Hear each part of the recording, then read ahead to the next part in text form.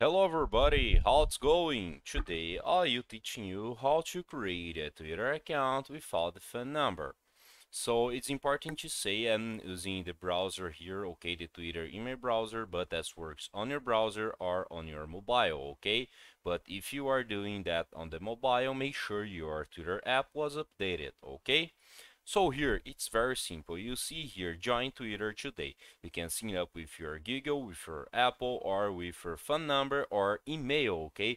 So you don't need to use your phone number to create an account. For example, I sign up with a Gig account, so I click here and select a Gig account in my computer, okay? After that, you just put your birth of date, okay, the month, day, and year, and you click in next and continue the process to create your Twitter account. So you don't need to use your phone number to create a Twitter account, okay?